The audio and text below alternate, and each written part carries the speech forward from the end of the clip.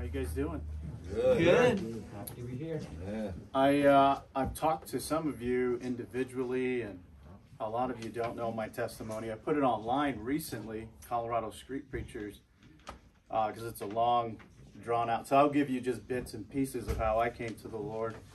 Uh, it's going to be 20 years for me this coming, uh, God willing, um, March 19th. My experience was complete fear. Uh, I came to the Lord because I thought I was going to hell. I died three times, flatlined in an ICU hospital, and uh, I knew that I was going somewhere that was dark. Um, and that drove me to say, God, I don't. I actually, what I really said was God of my grandmother, because my grandmother was the only one saved in my household and we thought she was crazy. She's upstairs speaking in tongues, and she'd always tell us, you know, get right. And uh, I, I just, I watched everything in my life kind of crumble, and um, I thought, I know somebody who knows the Lord, and she's she's such a great inspiration that um, I'm just going to reach out to the God of my grandmother. And thank God for her and her life as a testimony. Amen. And uh, that the night I was in the hospital, and I I cried out to God, and I said, "I'm gonna see you soon, and I'm scared because I don't know where I'm going." And um, so God God healed me from a situation from an irregular heartbeat, and um, I told him I'm gonna live for Him Amen. and uh, speed time up.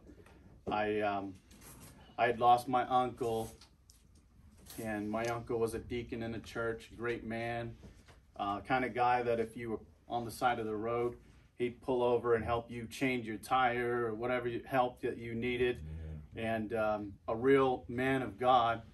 And I, I knew that losing him was going to be hard because he was an example and I got mad with God. I don't know if any of you got mad with God before in your life because something tragic has happened, or maybe you went through a divorce or something hard.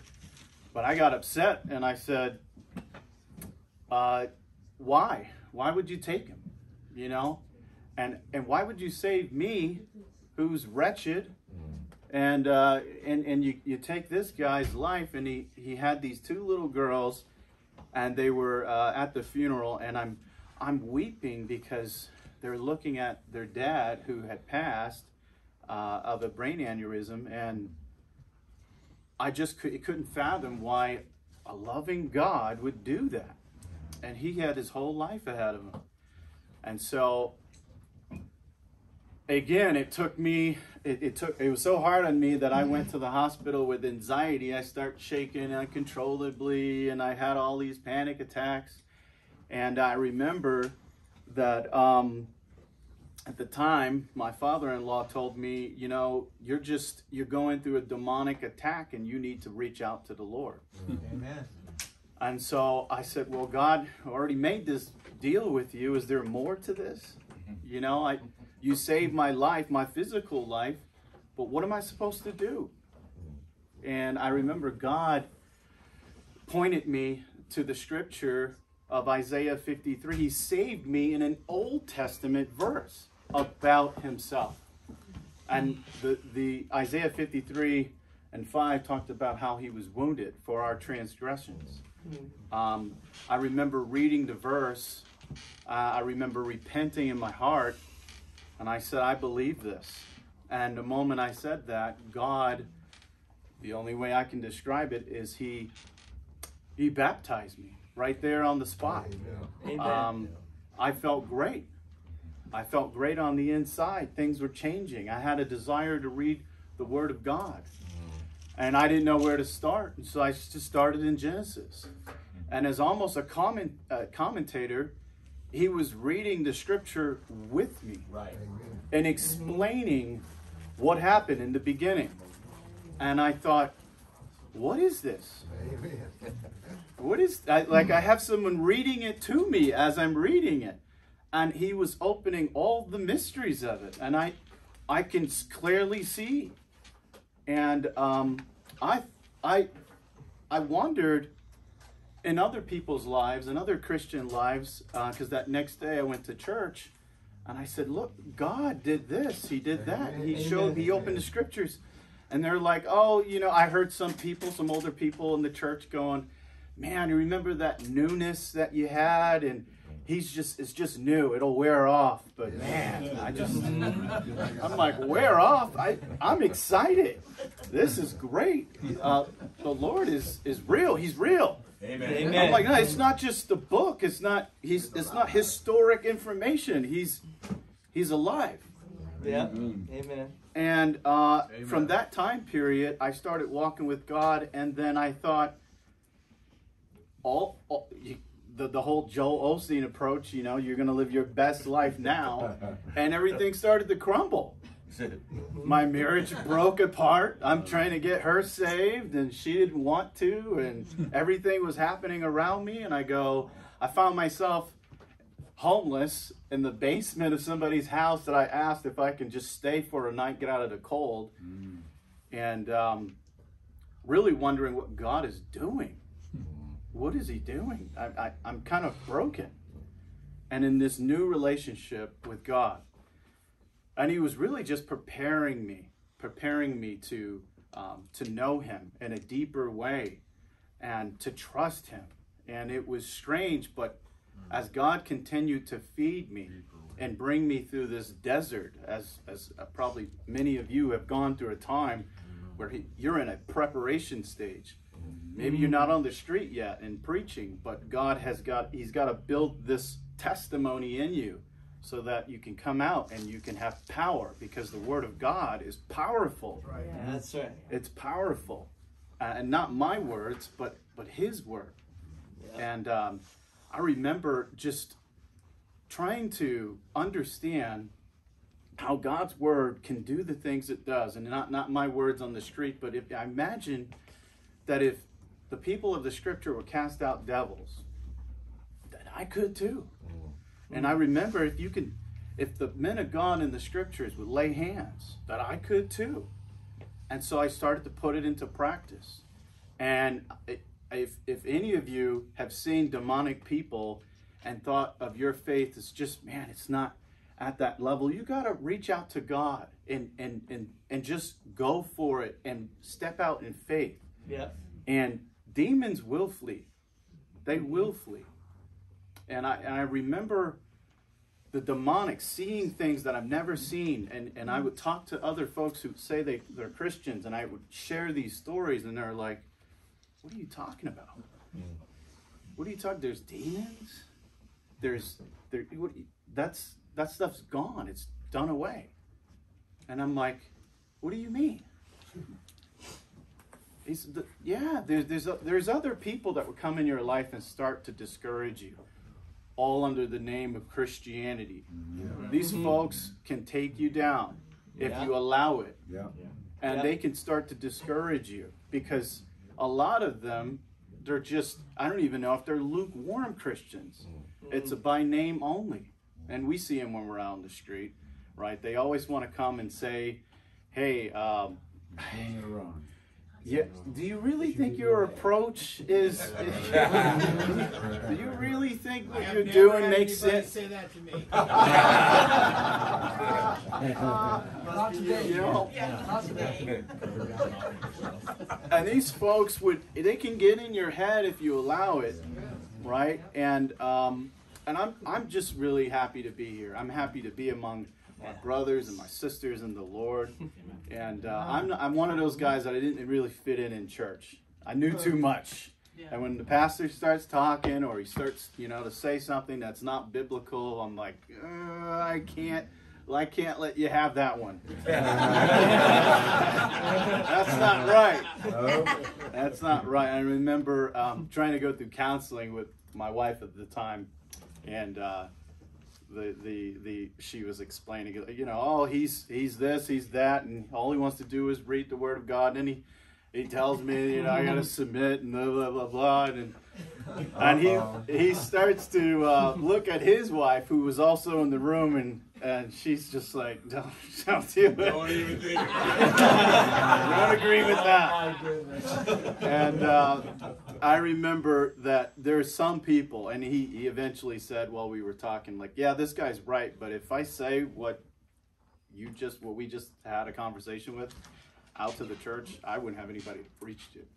Wow. Mm-hmm. And I said, you can't be a hypocrite. I know I'm here for counseling, but you can't be a hypocrite, especially if you know the truth. Mm-hmm. And you can't have your wife out in yoga pants who's leading worship in the church and then expect to have some authority in Christ concerning sin.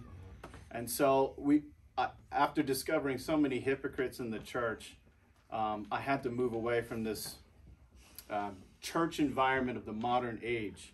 It's destructive. Yes. It's Yeah. destructive. It can hold you into a place where you don't see the power of God and your faith is getting weakened.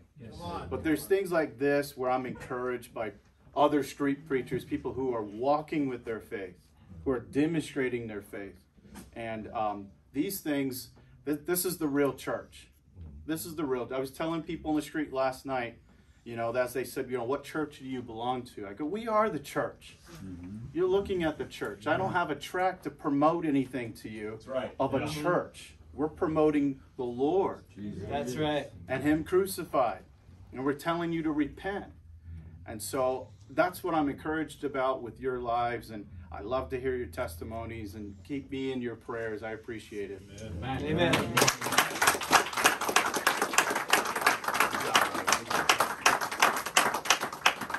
Wow.